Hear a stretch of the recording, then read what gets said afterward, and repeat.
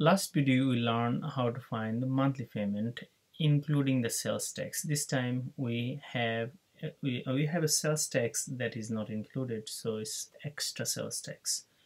What happens when we have extra sales tax? Let's take a look here. You want to purchase a computer that has a price of $14.99 plus 6% sales tax or with 6% sales tax and you decided to pay it for with, with installments over five years. This tells you that the interest rate is 19%. What is the amount of each monthly payment? So let's take a look. What is the monthly payment? This one down here. So from last video, we learned what is the monthly payment. So monthly payment, there is a nice formula comes up to play. M is smaller m usually represent monthly payment is equal to total amount over number of payment n represent number of payment which is t times 12 and a is the principal plus interest. Actually we come up with the formula from this one from last video if you're not sure. So this is basically phi 1 plus rt that is the principal I mean simple interest formula. And of course n is down here.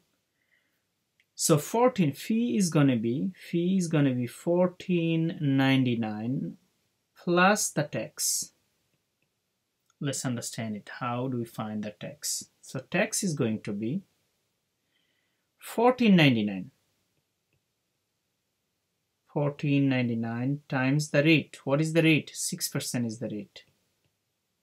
So that will give us phi is equal to phi is equal to 14.99 plus the tax how much is going to be tax coming up from here? That's what actually we're going to work it out. So if I multiply this actually let's take a look. This calculators can be handy. 1499 times 6% if you have a percentage in your calculator which is very good if you don't you convert to decimal and multiply you get 8994 very nice. So you get 8994 89.94 so my fee, remember, the money you have or the money you borrow, technically you don't have any money. So you have to really, you borrowing all the money, including the sales tax. So you borrowing all, including the sales tax. So I'm going to add this 14.99.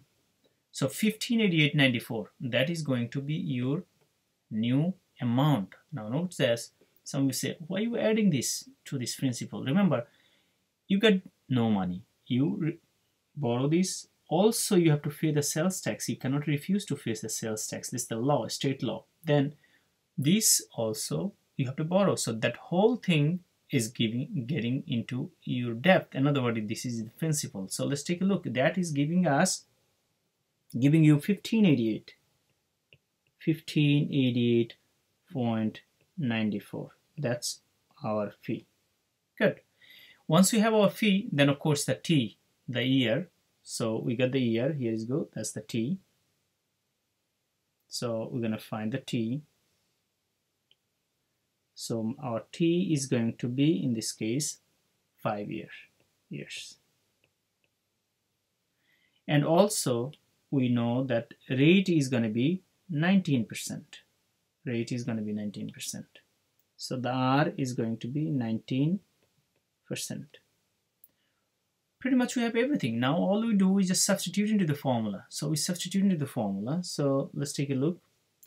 We go down here. So the fee is 1588.94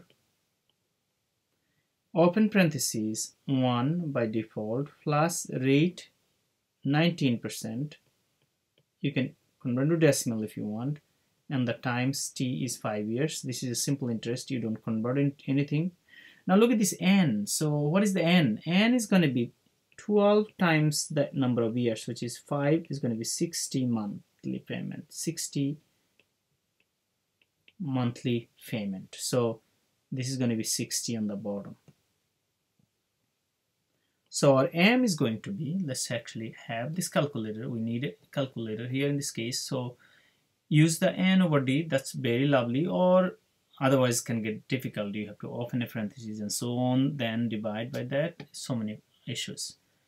1588.94 open parentheses 1 plus 19 percent times 5 close parentheses over 60 enter $51.64 remember that gives uh, we can round it up because money we always round it up. Even though this one is not going to make sense but you're going to come along with the problem that you have to round it up. So enter clear enter. 51.64 so $51.64 is the monthly payment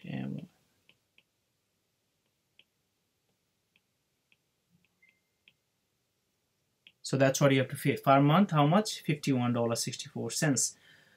I want to, you can double check it actually, okay?